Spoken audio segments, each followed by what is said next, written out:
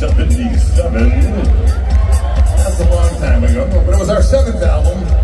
Seven songs on there. Yes, we are superstitious. Sold seven million copies! Here's one from side two.